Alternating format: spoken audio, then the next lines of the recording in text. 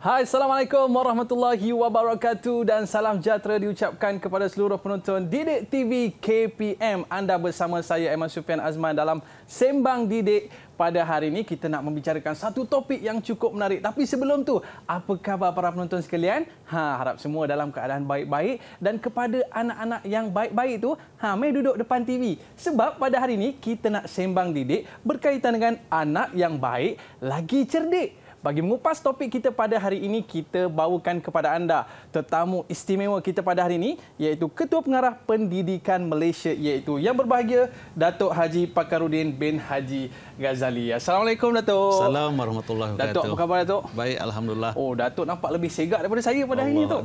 Alhamdulillah. Baik, Datuk. Ah, saya seorang anak dan juga para penonton kita juga merupakan seorang anak. Dan pastinya pada hari ini mereka nak mendengarkan kata-kata mutiara daripada Datuk. Tapi sebelum tu, tu Datuk, uh, Datuk apa khabar? Baik, baik, baik. Alhamdulillah. Baik ya. Uh, dan pastinya para penonton kita dah tak sabar dah nak mendengar kupasan tentang topik kita pada hari ini berkaitan dengan anak yang baik lagi cerdik. Baik Datuk. Uh, kita rasa kita tak nak buang masa dah. Kita nak teruskan uh, kepada perbincangan kita pada hari ini uh, yang mana satu slogan yang Datuk bawa yang telah menyentuh jiwa seluruh rakyat Malaysia iaitu berkaitan dengan anak yang baik lagi cerdik. Sedangkan kalau kita tengok uh, sebelum ini manifesto uh, yang diperkenalkan uh, iaitu lebih kepada perkara-perkara teknikal. Tapi bila sampai kepada Datuk lain daripada yang lain iaitu menyentuh tentang kepentingan membentuk seorang anak yang baik dan juga cerdik. Jadi kita nak dengar uh, daripada Datuk sendiri apa dia kepentingan dalam kita uh, menyebutkan tentang slogan anak yang baik lagi cerdik. Silakan Datuk. Baik, terima kasih Aiman. Aiman sihat ke? Eh, Alhamdulillah saya sihat. Alhamdulillah. Bila bila tajuk ini tu saya Ya. terus jadi macam anak yang baik. Silakan Datuk. Jadi, uh, terima kasih kerana beri ruang kepada saya untuk bicarakan tentang tajuk yang telah kita katakan tadi, anak yang baik lagi cerdik. Sebenarnya, uh, tagline ini uh, kita bawa kepada satu pendekatan yang lebih ringan, lebih mudah dan yang penting ialah difahami serta boleh dihayati oleh semua pihak. Jadi kalau kita bercakap tentang anak yang baik lagi cerdik, kalau kita nak ambil singkatannya ialah ABC. Jadi huruf ABC itu sendiri sebenarnya adalah asas dalam apa jua kalau kita bertanya tentang anak-anak yang baru mula belajar ataupun apabila kita nak menggambarkan sesuatu yang mudah, yang ringkas, kita katakan semudah ABC. Ha, jadi ABC ni sebenarnya dibawa, diolah supaya mudah diingati dan dihayati. Baik, sebenarnya anak yang baik lagi cerdik ni, uh, slogan yang ada tiga perkataan penting. Pertama, anak itu sendiri. Yang kedua, sifat anak itu yang baik. Dan yang ketiganya, memang harapan ibu bapa, harapan masyarakat ialah untuk kita lahirkan, lahirkan generasi yang cerdik yang boleh membawa kemajuan, ada kreativiti dan ada kelebihan. Ha, tapi susunan ABC ni kita tak pernah ubah sebenarnya. ABC ni daripada dulu lagi masa saya kecil-kecil dulu pun sampai sekarang susunan itu kekal. ABC walaupun A sampai Z tu boleh kita nak ubah susunan. Yang penting kita kenal huruf dia tu. Tapi sebab dia dah sinonim dengan uh, cara pembelajaran tu kan? So maka ABC tu. Jadi susunan itu eloklah kekal dan jangan Hmm. diubah. Sebab anak yang baik itu mesti didahulukan. Uh, Maknanya kemudian biasanya- barulah jadi yang cerdik. Hmm, Ah. hanya kalau baik InsyaAllah dia akan jadi cerdik. Dia akan jadi cerdik. Ah, sebab Ah. tinggal kalau masuk tadi kalau A, B, C, D. Ah, macam tu Ah, kan? ya. Kalau kita pergi kedai makan pun, order pun A, B, C. Air batu campur. batu campur. Baik Datuk, mana dapat ilham ni dan juga uh, idea untuk memperkenalkan slogan anak yang baik lagi cerdik? Silakan Datuk. Dia um, asalnya ialah sebab saya sudah agak lama dalam pendidikan ni, dah melebihi 30 tahun pun. Jadi apabila saya melihat kepada kemajuan pendidikan ni dari satu peringkat ke satu peringkat, saya mula membandingkan pada zaman saya sekolah rendah dulu bawa ke sekolah menengah. Pada ketika itu kita tidaklah terlalu menumpukan kepada uh, perkara mata pelajaran semata-mata yang kita belajar tapi kita terlibat dalam pelbagai aktiviti. Jadi kebelakangan ni apabila saya menjadi pengarah jabat uh, pendidikan negeri Sembilan, saya mula melihat bahawa tekanan uh, semakin tinggi kepada pelajar untuk mendapat keputusan yang sangat cemerlang untuk dapat straight A+, plus, dapat straight A dan tuition dah mula uh, diutamakan daripada pembelajaran yang seimbang di sekolah. Jadi perkara ini nampaknya tidak begitu sihat untuk membangunkan seorang insan tu kalau kita balik kepada falsafah ialah mesti sesuatu yang lebih holistik. Jadi ilham tu datang bila saya mula berfikir-fikir ke mana saya nak bawa pendidikan khususnya di Negeri pada ketika itu supaya akhirnya kita dapat satu uh, produk ataupun anak-anak yang lahir itu seimbang. Ha, jadi datanglah ilham eh kita kena jadikan dia baik dululah. Oh. Ha, janganlah kita cerdikkan dulu. Lepas tu keduanya bila uh, fikir-fikir okey huruf macam mana saya nak bagi semua orang boleh ingat jadi saya pun uh, cuba fikir oh baik B lepas tu cerdik C. Uh, lepas tu uh, datang pula ilham tu A itu anak. Jadi sebenarnya di awal pagi lah saya selalunya ketika yang sesuai untuk saya berfikir merenung. Jadi dah datang ilham tu Uh, anak baik cerdik. Jadi jadikan dia dalam bentuk satu frasa lah. Mudah anak yang baik lagi cerdik. Oh, maka itu EBC dia. itu waktu back to basic, sesuatu yang asas, maka itulah yang menjadikan ilham awal ABC itu uh, datang. Maknanya kalau kalau ikut uh, analoginya di sini adalah ABC adalah permulaan kepada apa saja bentuk pembelajaran kita. Ya. Jadi dalam kehidupan kita pun perlu dimulakan dengan uh, anak yang baik dan juga cerdik. Tapi Datuk. Ya, saya.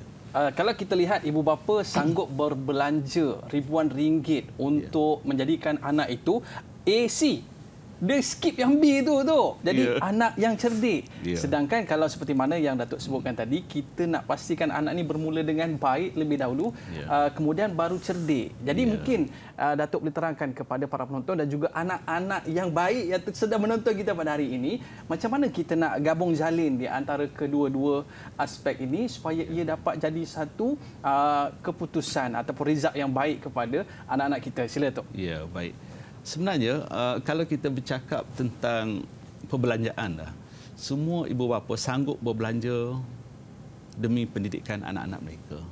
Cuma pilihan untuk berbelanja tu mungkin berbeza. Ada yang sanggup berbelanja untuk hantar anak tuition mata pelajaran tertentu ada yang sanggup uh, belanja uh, untuk anak pergi belajar muzik. Ada belanja untuk anak pergi belajar berenang. Pelbagailah tapi kebanyakannya ialah fokus kepada akademik sebab akhirnya akan menurut peperiksaan ada CJ dan dapat masuk ke mana-mana institusi yang mereka hajati. Tapi sebenarnya uh, belanja untuk melahirkan anak yang cerdik itu cukup tinggi. Dan kita mungkin kurang sedar ataupun agak uh, mungkin ambil mudah kalau saya nak katakan uh, kita tidak jadikan anak itu baik dahulu sedangkan belanjanya cukup murah ataupun tidak begitu besar untuk melahirkan anak yang baik ini hanya kita memberi contoh teladan sentiasa memperingatkan. Contohlah kalau anak itu di sekolah rendah di awal persekolahan kita kata kalau orang memberikan sesuatu cakapkan terima kasih. Ah, simple. simple saja. Ataupun jumpa cikgu beri salam. Ataupun uh, apabila nak pergi ke sekolah salam ibu bapa, cium tangan.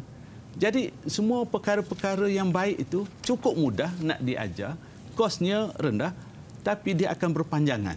Ha, dia akan kekal dalam kehidupan anak-anak itu. Jadi kalau kita dah mulakan yang baik itu di awal, dia akan berpanjangan. Tapi kalau kita dulukan yang cerdik, kosnya tinggi tapi kadang tidak berpanjangan sebab kita kena ajar kalau di peringkat sekolah rendah, tuitionnya ilmu di sekolah rendah.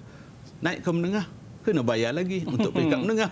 Mesti kena belanja lagi, beli buku rujukan yang mahal-mahal. Jadi sebenarnya, kalau kita mulakan dengan uh, anak yang baik itu, mungkin kos untuk jangka panjang, dia lebih menjematkan kerana anak yang baik ini, dia tahu menghargai sesuatu yang bernilai yang ada pada dia. Dia tidak akan belanja sewenang-wenang. Uh, sebab dia tahu nilai duit itu ataupun nilai kehidupan itu maka dia menjagalah kehidupan itu dengan penuh berakhlak dengan penuh berintegriti, dengan penuh beradab. Uh-huh. Uh, jadi sebenarnya anak yang baik itu sangat menguntungkan. Uh, berbanding dengan bukan tak untung anak yang cerdik, tapi kalau ABC anak yang baik lagi cerdik itu memang oh, satu lagi terbaik. rahmatlah buat satu kehidupan rahmat. ini. Uh, lengkap. Kita nak faham juga apa maksud baik itu adakah baik daripada sudut tutur kata saja ataupun adab dan juga akhlak serta menjaga solat dan sebagainya. Jadi kita nak tahu daripada Datuk uh, kenapa uh, Datuk memperjuangkan perkara ini, kenapa perlu untuk kita melahirkan anak yang uh, bijak, baik lagi cerdik. Sila Datuk. Ya, baik. Sebenarnya bila kita bercakap tentang anak yang baik lagi cerdik ni, kita kena balik kepada pendidikan itu sendiri. Asalnya pendidikan itu ialah uh, bermula daripada falsafah pendidikan kita sendiri. Kalau kita buka akta pendidikan, akta 550, di bahagian hadapan akta itu sudah ada falsafah pendidikan kebangsaan yang jelas menyatakan setiap anak itu ada potensi yang kita perlu bangunkan. Akhirnya, anak yang kita bangunkan itu mestilah anak yang sejahtera diri, mensejahterakan keluarga, masyarakat, negara dan kehidupan. Jadi, kalau kita nak semua itu berlaku dalam kehidupan kita, memang kita perlukan orang yang baik-baik. Sabda Rasulullah sallallahu alaihi wasallam yang berbunyi khairun nas anfa'hum linnas. Sebaik-baik manusia adalah manusia yang memanfaatkan manusia yang lain. Jadi kalau kita nak cari orang yang boleh beri manfaat pada yang lain, tentulah kena cari yang baik. Betul? Ah, kalau kita lahirkan yang cerdik, mungkin dia cerdik tapi nilai dirinya tidak begitu baik. Jadi mungkin tidak akan dapat sesuatu yang bermanfaat. Uh-huh. Jadi orang tua-tua dulu pun pernah dalam pantun kata kalau nak mencari tempat mandi pertama teluk kedua pantai. Kalau mencari murid menjadi pertama elok kedua pandai. Ah, oh. Jadi cari elok dulu. Uh, lepas tu barulah yang pandai. Jadi banyaklah pesanan-pesanan. Sebenarnya kita dalam pendidikan kalau saya di sekolah rendah usia muda dulu sebenarnya banyak perkara yang baik-baik kita belajar dalam kehidupan daripada ibu ayah kita, saudara mara, pakcik, makcik kita dan masyarakat. Jadi banyak pesanan. Cuma kebelakangan ini bila suasana tu persaingan tu semakin hebat, dia lebih menumpu kepada akademik semata-mata. Uh-huh. Ha, jadi inilah yang kita perlu bawa dalam sistem pendidikan kita supaya kita semua saling ingat mengingati ingat mengingati atas memberi kesedaran kepada semua pihak yeah. lah termasuk diri saya juga sebagai ketua pengarah mesti sedar bahawa anak-anak yang kita lahirkan melalui sistem pendidikan negara ni mestilah anak yang baik lagi cerdik. Itu dia. Tersentuh kita bila Datuk sebut seperti itu. Yang mana kata-kata Datuk tadi iaitu ya manusia yang terbaik itu adalah memberi manfaat kepada orang lain. Ah nampak mak ayah tu dah tarik uh, tangan anak-anak ni. Uh, duduk diam-diam kat sini. Dengar Datuk nak cakap. Okey. Baik para penonton, jangan ke mana-mana. Kita akan kembali selepas ini sembang didik.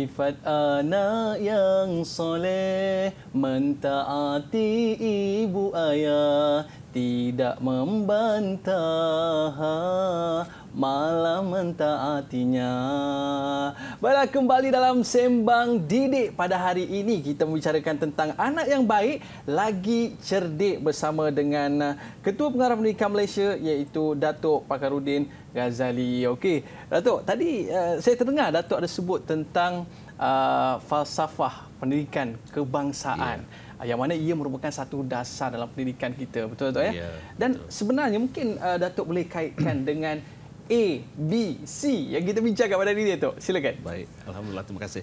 Sebenarnya falsafah pendidikan kebangsaan ini sudah lama mendasari sistem pendidikan kebangsaan kita.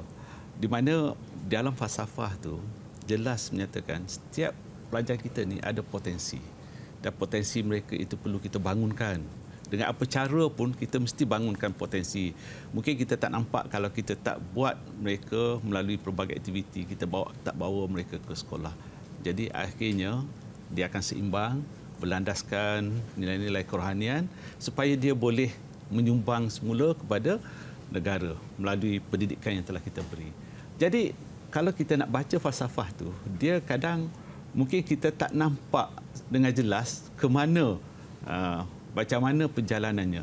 Jadi kaitannya dengan ABC ialah uh, ABC kita jadikan dalam satu kerangka atau model yang kita nampak ABC itu sendiri anak baik cerdik jadi anak itu setiap murid yang datang ke sekolah yang kita nak jadikan dia bersifat baik. Ha, jadi baik itu akhlak, adab, integriti. Jadi baik ni kita buatlah dengan pelbagai aktiviti yang kita ada di sekolah. Jadi kadang mungkin kita ajar dia dalam kelas pun dia boleh jadi baik. Tapi kalau kita ajar dia bekerjasama. Kalau kita ajar secara teori, dia tak boleh apply bekerjasama tu tak jadi satu perkara yang baik lah. Mungkin dia jadi bersaing dari segi akademik. Tapi kalau bekerjasama kita bawa dalam aktiviti pengakap, aktiviti sukan, persatuan, nampaklah bekerjasama tu macam mana, bertanggungjawab tu macam mana. Jadi sebenarnya, kita kena lahirkan yang baik tu dahulu daripada potensi anak kita yang ada itu. Ha, lepas tu, yang akhlak, integriti, eh, sorry, maaf, uh, cerdiknya itu. Uh, yang cerdik itu bila kita ajak akademik potensi dia dari segi intelek itu. Uh, jadi sebenarnya anak itu datang dengan jasmani ataupun fizikalnya kemudian dengan emosi. Kalau anak kecil-kecil lahir itu terus dia menangis itu kan itu emosinya tu. Hmm. lepas tu bila dah kenyang dia gelak itu belum diajar apa-apa. Uh, itu asasnya jasmani dan emosi. Lepas tu bila dia mula membesar ibu bapa dah mula beri nilai-nilai kerohanian kalau kita dengar budak-budak kecil-kecil pun dah pandai baca doa makan. Dia tak faham apa makna doa makan tu. Betul, dia dok. tak tahu kenapa falsafah di sebalik doa makan tu. Tapi dia boleh baca doa makan. Jadi nilai kerohanian tu mak ayah dah dah ajar dari awal lagi. Sebelum masuk prasekolah lagi. Uh, lepas tu bersosial. Bila raya bawa pergi rumah uh, pakcik, makcik dia, uh, maklum, paklong dia bagi dia nampak dapat duit raya. Tapi bagi mak ayah sebenarnya nak suruh dia mengenali saudara mara bersosial. Jadi sebenarnya JERS, jasmani, emosi, rohani sosial itu sudah bermula. Dan secara beransur naik prasekolah tahun 1 sampai tahun 6 sampai habis sekolah itu semua itu adalah untuk memberi dia intelek dari segi uh, kognitif dia ilmu dalam satu-satu bidang matematik, sains, bahasa Melayu, bahasa Inggeris supaya dia boleh mendalami lagi satu-satu bidang ilmu itu. Jadi sebab tu kita sebenarnya bagi seorang pelajar ni kita nak pakaikan dia jersey Uh, jersey yang jersey apa tu tu? Jersey tu. uh, nak bagi jersey rugby ni yang kuat yang tahan lasak. Jersey itu singkatan kepada jasmani, emosi, rohani, sosial, intelek. Oh. Dulu kita sebut Irish, Jerry's, uh, kan? Jerry. Uh, tapi saya uh, susun supaya nampak jelas bahawa jersey itu sesuatu yang nak dipakai. Jersey ABC yang dia boleh survive dalam kehidupan dari lahirnya sampailah hingga pengakhiran kematiannya. Uh-huh. Jadi inilah sebenarnya yang kita nak bekalkan kepada anak-anak ada akidahnya, ada ibadahnya dan sirah perjalanan melalui kehidupan ini. Uh. Jadi peranan ini uh, Eman bukan kita letak pada guru semata-mata. Mungkin kita nampak bila pergi sekolah diberi tanggungjawab pada guru. Betul. Tapi kita di rumah sebagai ibu bapa, kita ambil peranan.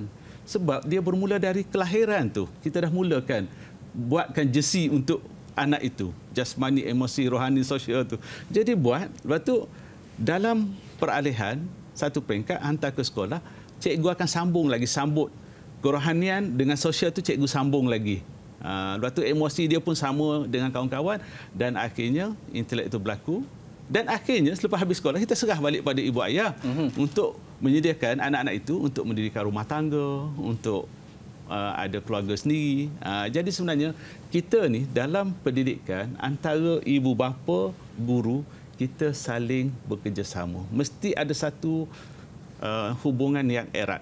Barulah jersey itu siap dengan sempurna dan jersey yang kita hasilkan jersey ABC, anak yang baik lagi cerdik. kalau Itulah pakai kalau pakai jersey tu akan diingat Datuk.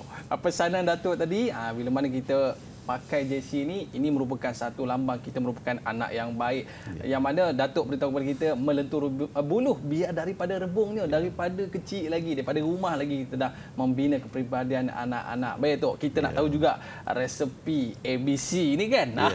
Kalau kita pergi kedai kan, ya. minta ABC dengan susu je dengan sirap ya. dan sebagainya Tok ya. supaya dia jadi lagi sedap. Ha, ya. jadi kita nak tahu apakah dia asas melahirkan ABC tu? Ya, betul. Kita mesti letak semua bahan-bahan yang jadikan dia sedap. Uh, sedap, rasa terlekat di hati. Puasan dia cukup mendalam kan. Uh, jadi ABC ni pun ada resepinya. Pertama sekali, mesti datang dari hati. Oh. Nak lahirkan anak yang baik lagi cerdik ni, mesti dari hati. Pendidikan ni tidak ada cara lain nak mengubah hati seseorang manusia itu mesti datang dari hati seorang pendidik sama ada yang pendidik itu dari rumah ialah ibu bapa. Kalau di sekolahnya guru-guru. Kalau di universitinya pensyarahnya. Mengajar tu mesti datang dari hatinya. Yang ikhlas. Barulah dia sampai ke hati orang yang diajar tu. Kemudian yang kedua bagi rakan-rakan yang diberi amanah mendidik ataupun ibu ayah pun yang nak kena membesarkan anak itu mestilah niatkan sebagai satu tanggungjawab yang menjadikan satu ibadah buat diri kita. Bukan semata-mata kerana kita nakkan gaji setiap bulan kalau kita pendidik. Sebenarnya gaji itu sebagai imbuhan untuk kita berkorban masa tenaga nak menyara keluarga kita. Tapi sebenarnya apa yang kita nak bawa pulang satu hari nanti? Sebenarnya kalaulah dengan ikhlas dari hati, niatkan sebagai ibadah, berganda-ganda lagi dipolitik. Dan pasti akan sampai niat kita tu apabila kita membangunkan anak yang baik lagi cerik itu. Dan tentulah anak itu akan bermanfaat bagi baik. orang lain bila ilmu yang kita bagi itu ilmu untuk membina hati dia jadi orang yang baik hatinya tu sudah lembut sudah boleh uh, menerima uh, sudah boleh menerima apa saja yang akan dihadapi dengan ilmu yang dia ada tu tentu dia akan memudahkan Baik. orang lain. Tapi oh. Perkara yang paling penting yang saya mungkin akan kupas sedikit selepas ini ialah dalam pendidikan ni tentu ada hierarki kepimpinannya hmm. daripada Kementerian Pendidikan Malaysia kepada Jabatan Pendidikan Negeri, Pejabat Pendidikan Daerah, uh, sekolah kan, masyarakat. Jadi apa perkara yang perlu di uh, buat oleh pemimpin itu supaya akhirnya ABC ini boleh berlaku dengan berkesan dan memberi sesuatu yang bermakna untuk kehidupan. Itu dia. Baik, ha, Tok. Itu Tadi... trust and inspire. Dan akhir sekali, Aiman, ialah ya, uh, aspek kepimpinan.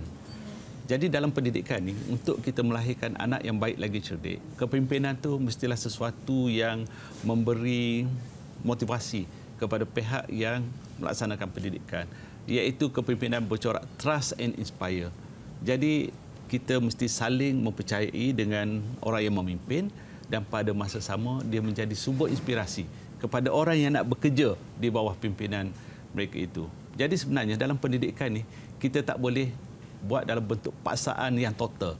Jadi tak boleh cikgu ni dia nak mengajar nak ikhlas dari hati itu mesti datang dalam bentuk yang ikhlas dan mesti pemimpin ketuanya itu percaya kepada guru. Jadi guru itu akan mencarilah jalan kaedah untuk mengajar dengan sebaik yang mungkin sebab dia akan melihat potensi pada setiap murid itu berbeza-beza pada setiap hari dan pada masa yang sama potensi yang ada pada anak itu dia akan bangunkan secara bersama dalam persekitarannya. Sebab tu ada pepatah mengatakan it takes a village to raise a child. Oh. Dia satu kampung tu. Kalau kita kena gambarkan satu kelas, satu sekolah, jadi pemimpin itu mestilah seseorang yang mengamalkan corak kepimpinan trust and inspire bukan uh-huh. command and control oh. command and control ni dia terlalu rigid dan tidak ada kreativiti sebab anak ini dia berubah-ubah emosi setiap hari dan kepandaian mereka berbeza-beza Itulah Baiklah. yang Maknanya bukan pentingnya. suruh, bukan arah tu eh. Yeah. Tetapi macam mana pendidikan daripada hati turun ke hati. Baik tu kita nak eh, seketika. Adakah peranan pendidikan ni pada tangan mak ayah sahaja? Ha, kita nak tanya selepas ini kepada Datuk. Berehat seketika, kembali selepas ini. Sembang Didik.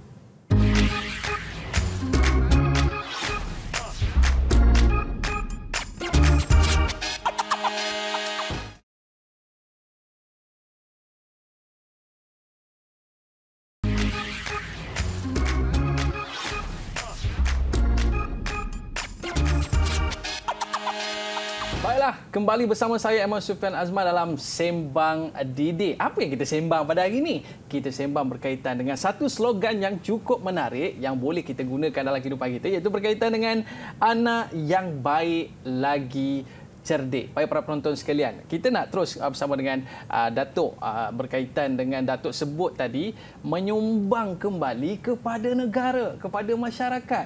Jadi uh, bersesuaian uh, dengan uh, satu perkara dalam pembangunan negara madani itu sendiri Datuk, uh, Perdana Menteri yang amat uh, berhormat Datuk Seri Anwar Ibrahim turut memberikan penekanan uh, terhadap aspek keinsanan dan menyumbang uh, semula kepada negara. Jadi ia sangat sesuai dengan konsep ABC ni Datuk. Mungkin Datuk boleh ceritakan. Baik. Sebenarnya bila kita uh, bercakap tentang membangun negara madani itu, dia ada enam rukun dalam uh, madani. Maksudnya madani ini sesuatu yang kita harapkan uh, pertamanya ada kemampanan. Jadi apa yang saya nak bercakap ni ialah dari sudut pendidikan kita nak satu sistem pendidikan yang mampan, yang stabil, yang uh, konsep asasnya, dasar asasnya ialah sesuatu yang kukuh, yang boleh difahami dengan jelas oleh setiap lapisan masyarakat. Jadi daripada ibu bapa kepada pendidik, kepada masyarakat, kepada negara. Uh, jadi sebab tu bila saya kaitkan hari ini dengan ABC itu, anak yang baik lagi cerdik itu, sebab kita dah ambil konsep itu dari banyak dokumen iaitu falsafah pendidikan kekuasaan, pelan pembangunan pendidikan Malaysia, uh, aspirasi murid, uh, rukun negara. Jadi sekarang bila kita ada konsep madani, kita tahu ini adalah sesuatu yang mampan yang akan membawa kepada satu pendekatan yang boleh mensejahterakan kehidupan. Uh, jadi konsep kesejahteraan pun sudah ada di situ. Kemudian bila kita nak membangunkan potensi murid itu dah tentulah kita mesti ada daya cipta, kreativiti yang tinggi. Akhirnya murid-murid yang kita lahirkan di sekolah ini dengan kreativiti pendidik kita maka dia akan jadi insan yang hebat untuk membangun negara madani. Dan tentulah ABC anak yang baik lagi cerdik hormatnya tinggi kepada guru, kepada mak ayah, kepada masyarakat, sesiapa saja. Jadi cumanya uh, bila kita melihat konsep madani ni dengan pendidikan ni kita kena bawa kepada realiti pendidikan. Ha, kita jangan nampak konsep itu macam terlalu sukar. Tapi kita permudahkan semudah ABC jadi kita boleh jayakan bermula dari dalam sekolah. Jadi kita kena yakinlah dengan sistem pendidikan kita. Walaupun banyak uh, masyarakat memberi pandangan uh, dalam pelbagai platform uh, sama ada seminar, forum, media sosial. Tapi kita kena yakin, ibu bapa, ya, guru-guru, masyarakat, pemimpin kena yakin dengan sistem pendidikan kita. Jadi nak yakin tu dia kena ada sesuatu yang mudah difahami, barulah yakin. Kalau dia punya konsep pun agak kabur tak jelas, macam mana nak yakin? Ya ke tak ya? Ha, jadi sebab tu bila saya cakap tentang anak yang baik lagi cerdik ABC ni, nak bagi semua orang yakin anak yang kecil baru belajar pun dia faham perkataan baik dengan cerdik sampailah mungkin orang yang sudah tua dewasa yang yang mungkin dah tak ikut perkembangan pendidikan pun tetap faham apa baik apa cerdik. Jadi di sinilah memberi satu keyakinan bahawa oh betul lah kita nak ajar anak ni pertama nak suruh baik, dua nak suruh cerdik. Pertama elok, kedua pandai. Uh, jadi ihsan, empati, Sebenarnya itulah dia pendidikan supaya masyarakat yang prihatin saling membantu di antara satu sama lain. Jadi ihsan itu datangnya dari anak yang baik lagi cerdik. Kalau kita tak lahirkan ABC, ihsan pun tak akan berlaku dalam kehidupan. Jadi itulah yang saya boleh kaitkan dengan uh, konsep membangun negara madani. Tapi satu perkara yang uh, menarik juga, apabila yang berhormat Menteri Pendidikan kita bercakap tentang karamah insaniah. Jadi sebenarnya adab akhlak integriti itu ialah kita mengangkat martabat insan.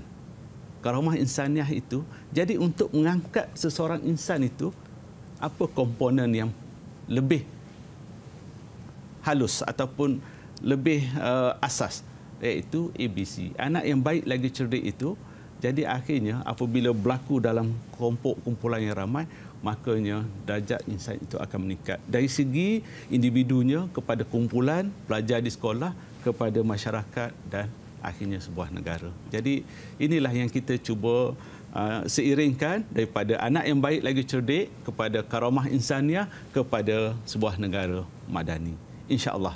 Okey tu. Kita Jadi uh, tadi Datuk ada sebutkan uh, hormat guru-guru, kalau balik ke kampung hormat pak long mak long, atuk nenek dan sebagainya. Jadi ya. kita rasa seronok tu bila mana mereka ni terkesan, bila mana mereka ni menjadi anak yang baik dengan peranan ibu ayah yang cukup berat yang perlu diberi penekanan.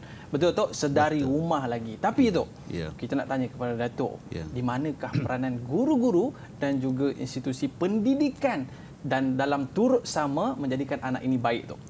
Baik. Peranan guru dan institusi pendidikan ini memang tak boleh dipandang satu yang rendah ataupun perkara yang tidak membawa impak kepada negara. Sebenarnya institusi pendidikan, para guru serta pemimpinnya itu adalah nadi uh, kepada sebuah negara yang sejahtera. Jadi peranan di sekolah yang kita boleh mainkan ialah dengan membugarkan potensi anak-anak itu. Kita kena bangunkan potensi mereka. Datang anak ke sekolah itu kita dah lihat walaupun wajahnya tidak begitu menarik ataupun pakaiannya tidak begitu kemah ataupun dalam keadaan yang serba kekurangan tapi kita kena lihat bahawa anak itu di dalamnya tersimpan pelbagai potensi. Macam kita tengok satu biji benih lah. Kalau tengok semuanya sama saja. Tapi selagi kita tak tanam dia, dia tak tumbuh, kita tak tahu apa uh, yang ada dalam biji benih itu. Potensi yang akan keluar. Buahnya sedap dan uh, enak untuk dimakan. Jadi institusi pendidikan akan buat pelbagai aktiviti dengan cara mereka sendiri. Cikgu akan mendidik.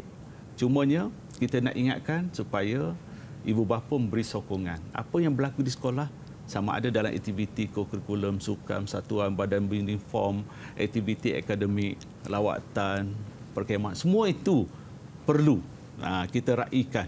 Sebab dia bukan satu yang membuang masa anak itu. Sebenarnya membina karakter anak itu. Membina sesuatu yang baik dalam diri anak itu. Kalau nak saya kongsikan, saya dulu anak serigala, kemudian jadi pengakap di sekolah menengah dan akhirnya saya dapat sijil pengakap raja. Wow. Jadi saya seorang pengakap raja. Jadi saya banyak belajar daripada aktiviti pengakap dari satu peringkat ke satu peringkat. Jadi alhamdulillah saya dapat rasakan kesannya bila saya akan bila saya menjadi pemimpin pada dunia pendidikan sendiri jadi saya dapat melihat bahawa anak-anak ini biarlah dia datang ke sekolah bila datang itu pelbagai potensi boleh kita bugarkan. Hmm. InsyaAllah. Satu perkara lah yang saya nak kongsi ya, cukup ya, menarik dalam pendidikan ini. Kita selalu melihat mungkin di satu-satu institusi pendidikan yang sempurna yang ada pelbagai kemudahan peralatan canggih itu seolah melahirkan anak yang hebat. Okey. Betul, ada masa tu kita dapatlah anak yang ramai dapat A+. Tapi mungkin kita perlu kaji lebih mendalam. Adakah mereka ini adalah seorang yang ABC. Adakah karakter mereka baik, dia bertanggungjawab? Kita harapnya begitu. Tapi kita perlu lihat pada majoriti anak-anak di sekolah itu. Jadi pengalaman saya minggu lepas, eh, saya pergi ke pedalaman di Sarawak iaitu di daerah Baram sampai ke Long Pelutan, sampai ke Long uh, Bedian, Long Atip, Long Bomang. Jadi ini adalah kawasan-kawasan yang terpencil. Perjalanan sangat mencabar 4-5 jam dalam perjalanan menggunakan jalan balak itu kami sampai tapi bila sampai di sana bilangan anak-anak itu ada sekolah yang kecil ada yang sederhana tapi saya boleh katakan rata-rata anak itu anak IBC mungkin akademik mereka tidaklah sehebat mana tapi dari segi tingkah laku adab, kesantunan akhlak. adabnya sangat hmm. tinggi mereka sangat dekat dengan ibu bapa masyarakat. Saya pergi ke satu sekolah tu muridnya 10 orang tapi ibu bapa yang datang hampir 100 orang. Saya pun terkejut. Jadi ibu bapa tok nenek masyarakat datang sebab mendengar kita pemimpin pendidikan datang ke tempat mereka. Jadi kalau inilah budaya yang ada maksudnya masyarakat turut membina ABC. bagi sekolah itu. Anak-anak itu belajar daripada apa yang berlaku dan betul bila kami bagikan uh, buah tangan mereka tidak berebut, mereka terima menyambut dengan ucapan terima kasih. Setiap anak itu mengucapkan terima kasih. Jadi saya rasa cukup bangga sebagai seorang pemimpin dalam pendidikan dapat lihat di satu-satu organisasi, institusi yang berada jauh di pedalaman tapi pendidikan itu sampai. Mungkin dengan baik mereka itu sedikit ilmu mereka pasti akan jadi cerdik dan berupaya uh, menjadi masyarakat yang boleh membangunkan tempat mereka satu hari nanti. Okey, baik Tok. Kita lihat uh, inilah dia peranan uh, bukan uh, setakat guru tetapi masyarakat perlu uh, memainkan peranan untuk membina sasiah anak-anak yeah. itu sendiri. Tok, uh, mungkin Betul. Datuk boleh ceritakan berapa sebenarnya nisbah guru berbanding dengan murid pada ketika ini Tok? Okey. Kalau kita nak kira sekarang ni kita ada uh, 5 juta lebih pelajar dengan 400 ribu lebih guru. Jadi kalau kita uh, ambil secara purata nisbahnya satu guru 12 orang murid. Okey, itu secara kasarnya. Uh, tapi ada sekolah di bandar mungkin yang lebih padat mungkin nisbah tu lebih tinggilah. Satu guru 15 murid ataupun lebih tapi di luar bandar mungkin satu guru satu murid. uh, boleh jadi uh, ataupun uh, satu guru dua murid. Uh, sebab satu sekolah mungkin ada 8 guru, muridnya 16 orang ah, yang jauh di pedalaman ataupun sekolah kurang murid. Tapi apapun, ah, kadar itu bukan menentukan maju mundur seseorang pelajar itu. Sebenarnya sejauh mana hati cikgu itu dapat dipautkan dengan hati murid itu. Sejauh mana guru berjaya melahirkan anak yang baik lagi cerdik. Jadi kalau guru yang menjaga murid yang ramai, dia boleh jadikan EBC, maka itulah kejayaan yang cukup besar melahirkan EBC dengan jariah yang berpanjangan. Walaupun cikgu itu jaga seorang pelajar, kan? Jadi kalau EBC anak itu, EBC itulah yang akan menjaga ibu ayah yang berada jauh di pedalaman, di pulau, di mana saja. Ha, jadi kita mungkin nisbah itu satulah eh, satu perkara yang perlu kita apa lihat secara objektif dalam membangunkan anak bangsa kita. Baik tu. Jadi itulah peranan orang kata dalam kita nak membina anak-anak ini walaupun tak kiralah jumlahnya mungkin ada setengah sekolah yang jumlah pelajarnya ramai ah, dan ada jumlahnya sikit tapi ya. tergantung kepada bagaimana ah, guru-guru itu ah, menyampaikan dari hatinya. Baik. Ya. Datuk, tadi kita sebut tentang tanggungjawab guru ni dia dah mengajar kan? Uh, dia dah dengan aktiviti di sekolah dan sebagainya. Yeah. lepas tu nak kena fikir pula pasal adab dan juga akhlak murid-murid ni tu yeah. selepas ini boleh tak ya? Boleh Baik, boleh. para penonton murid-murid jangan ke mana-mana pegang anak tu. Jangan bergajak okey? Selepas ini kita akan kembali bersama dengan Datuk dalam sembang didik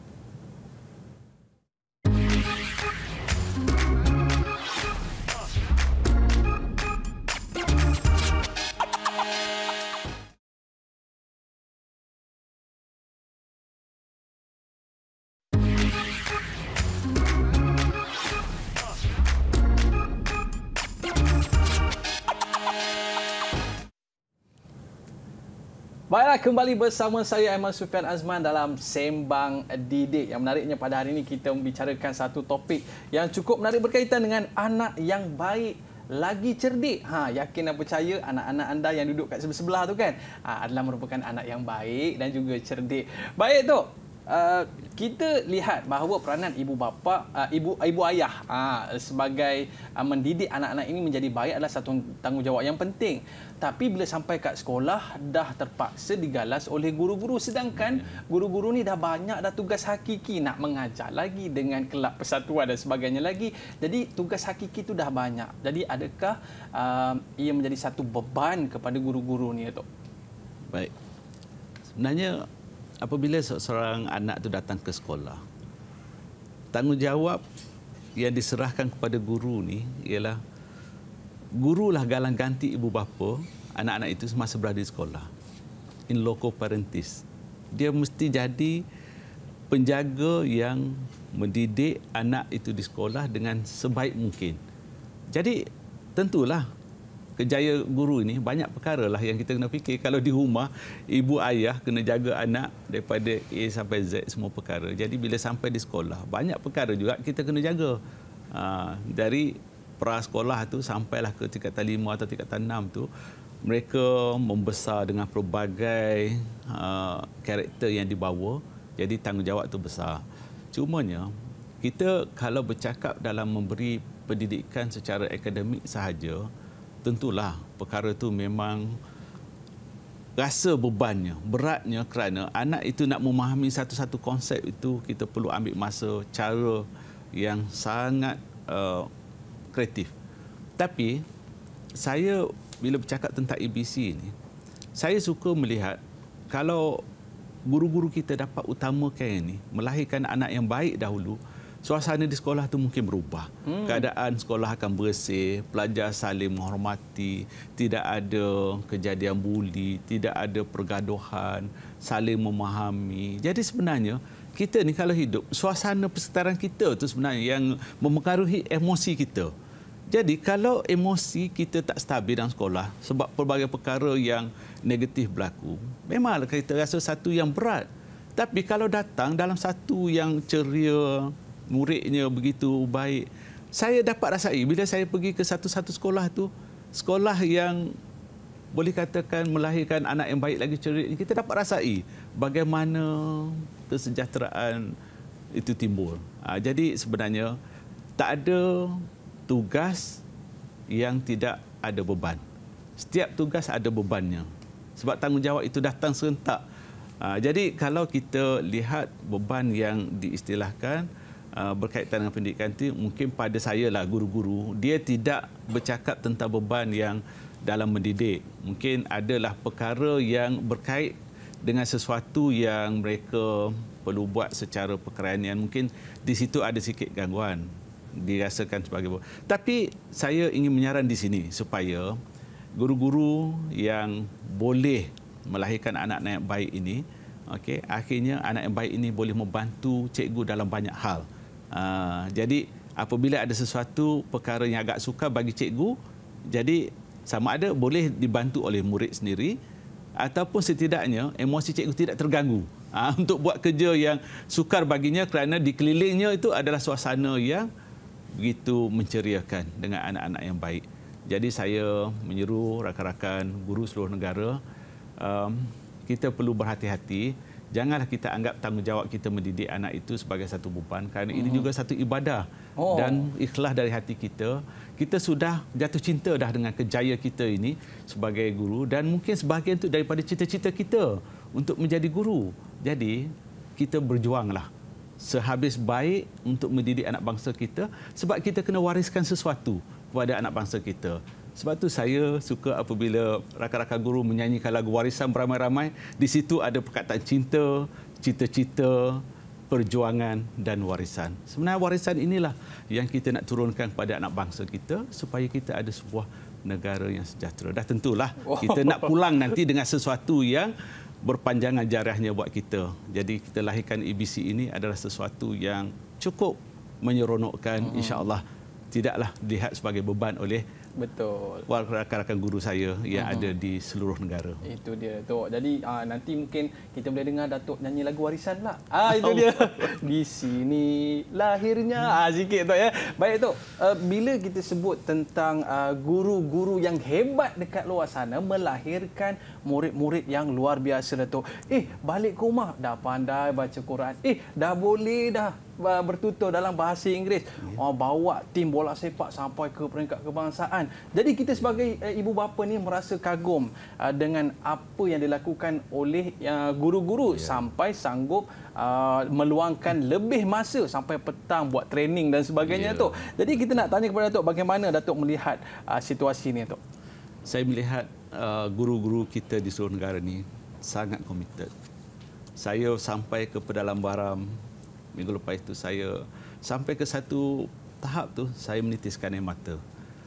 Kerana saya memikirkan betapa pengorbanan cikgu ini terlalu hebat. Mereka boleh melalui cabaran yang begitu hebat, getir untuk mendidik anak di pedalaman sana sehingga mereka berjaya. Jadi saya yakin guru-guru yang ada di mana saja di bumi Malaysia ini baik di pulau, di pedalaman, di bandar, luar bandar, di kampung tradisional semuanya itu punya satu komitmen yang cukup tinggi saya yakin. Dan inilah yang mereka buat sebenarnya. Mereka bawa anak-anak itu ke mana saja dari bilik darjah keluar pergi bertanding mencipta kejayaan. Cumanya hari ini kita harap ibu bapa masyarakat badan korporat semua datanglah untuk kita sama-sama menyokong pendidikan negara sebab anak-anak ini bukan hanya hak sekolah semata-mata. Selepas menjadi ABC, anak ini akan bertebaran di muka bumi Malaysia ini. Dia akan masuk ke dalam syarikat tuan-tuan dan puan-puan, akan bekerja dalam organisasi uh, kita, akan memberi sumbangan yang terbaik. Jadi kalau kita dapat lahirkan ABC, anak yang baik lagi cerdik, limpahannya pergi ke dalam syarikat kita ataupun dalam rumah kita ataupun di mana saja. Uh, inilah yang kita harapkan. Anak-anak kita memang hebat potensi mereka tinggi. Cikgu diberi suntikan sikit semangat, motivasi, mereka akan lahirkan sesuatu yang bermakna. Uh-huh. Jadi itulah yang saya lihat kerjasama semua pihak itu masyarakat dan korporat masyarakat uh-huh. dan mhm. korporat itu tentulah akan menjayakan kita untuk melahirkan ABC. Bayangkanlah murid-murid 10 orang tapi mak ayah sampai 100 orang. Itu yang kita idam-idam kan tu kan. Yeah. Bila mana mak ayah mula bekerjasama untuk menaikkan pendidikan uh, anak-anak itu sendiri Datuk. Yeah. Um, kita tahu bahawa uh, dalam tujuh teras yang menjadi hala tuju KPM yang menjadi keutamaannya adalah uh, kemenjadian murid dan kebajikan guru uh, adalah satu perkara yang menjadi keutamaan. Jadi kita nak tanya kepada Datuk apakah perancangan KPM uh, bagi kedua-dua pemegang taruh ini Datuk? Baik. Bila kita cakap tentang kemenjadian murid, itulah yang dalam teras kedua yang berhormat Menteri Pendidikan kita sebut untuk um, melahirkan anak yang ada akhlak adab dan integriti yang membawa kepada karamah insannya darjah anak itu semakin baik, semakin tinggi dan akhirnya anak-anak dari sistem kita itu adalah anak yang baik lagi cerdik. Dan yang keduanya ialah nak melahirkan anak yang baik lagi cerdik ni kita perlu melihat siapa pendidiknya iaitu guru-guru. Jadi kebajikan guru ini insya-Allah kita beri perhatian. Walaupun ada terdengar di sana sini guru yang mungkin berjauhan, mereka uh, kekurangan guru di sekolah. Jadi perkara ini semuanya dalam perhatian peringkat Kementerian Pendidikan Malaysia, kita akan melihat satu persatu. Tidak boleh diselesaikan dalam masa yang singkat, kita ambil strategi supaya dalam tempoh yang panjang itu dapat kita pendekkan, kita segerakan. Insya-Allah. Cumanya kita perlu kerjasama semua pihak. Jadi apabila kebajikan guru, cikgu rasa seronok dalam uh, mendidik berada di sekolah pastinya kemejadian murid itu akan datang secara holistik. Jadi sebenarnya kemejadian inilah yang matlamat akhir sistem pendidikan kita. So kita harapkan kita, uh, melalui tujuh teras yang ada di Kementerian Pendidikan Malaysia pertamanya dari segi komunikasi yang ini salah satu platform yang kita gunakan uh, Didik TV untuk kita menyampaikan mesej kepada masyarakat bahawa pendidikan hari ini kita bukan sekadar melihat kepada kejayaan akademik tapi melihat kepada kemenjadian murid secara holistik. Uh, kemudian kita juga melihat dari sudut uh, digital uh, dengan kemajuan hari ini okey kita akan perkasakan pendidikan digital supaya memudahkan lagi pembelajaran anak-anak kita dan mereka menjadi lebih cepat menguasai sesuatu ilmu itu.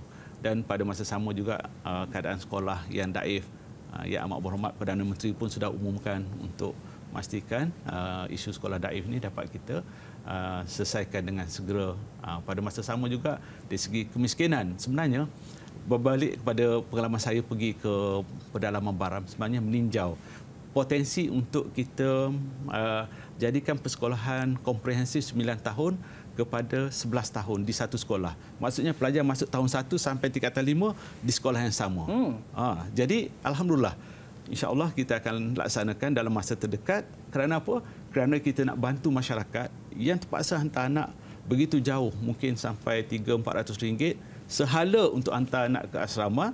Tapi bila kita bawa anak itu ke tingkatan 4 dan 5 di sekolah yang sama, jadi pembelajaran itu sekaligus dapat dikurangkan. Jadi ini juga keperhatian Kementerian Pendidikan Malaysia dalam mengurangkan kos sara hidup masyarakat. Jadi uh, pribumi di pedalaman sana, orang asli. Baik. Kalau kita dapat bantu dengan sistem persekolahan yang lebih mesra, uh-huh. hampir dengan tempat tinggal mereka, mereka lebih rapat dengan anak dan pada masa sama pendapatan ibu bapa mereka meningkat kerana uh-huh. tidak perlu membelanjakan uh, lebih besar uh, nilainya untuk pendidikan. Mesra masyarakat. Mesra eh? masyarakat. Baik, Tok. Depan TV kita ni, yeah. ada guru-guru, ada ibu bapa dan juga ada murid-murid. Mungkin yeah. ada kata-kata terakhir daripada Datuk, harapan Datuk kepada mereka ini supaya dapat kita uh, bekerjasama dalam kita menaikkan uh, pendidikan negara kita. Silakan, Tok. Ya, yeah.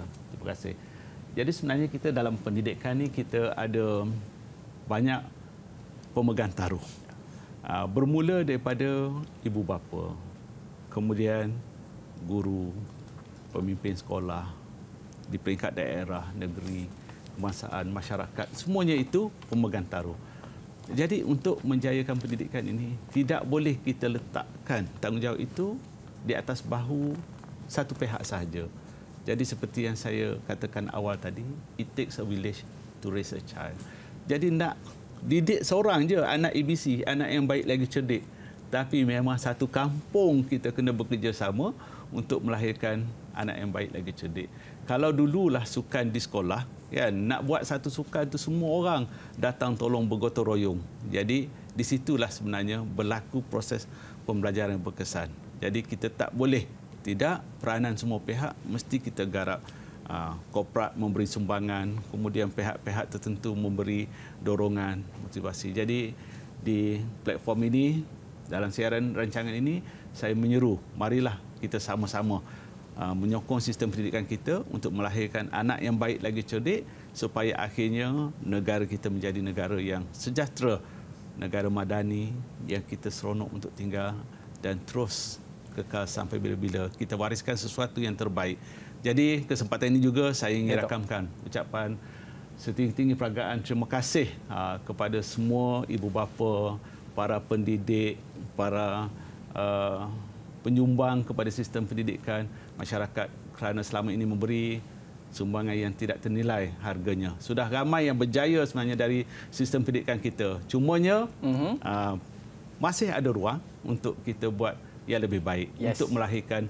anak yang baik lagi cerdik. Insyaallah. A B C. Anak baik dan juga cerdik. Baik kita nak ucapkan jutaan terima kasih kepada uh, Datuk Pakarudi Ghazali uh, ketua pengarah pendidikan Malaysia atas kunjungan uh, ke Teratak Sembang. Didik pada hari ini memberikan kesedaran kes- kepada seluruh masyarakat untuk kita bekerjasama menjadikan anak-anak kita baik dan juga cerdik. Terima kasih sekali lagi. Ya, kita sama. jumpa lagi dalam rancangan Sembang Didik. Bye bye assalamualaikum warahmatullahi wabarakatuh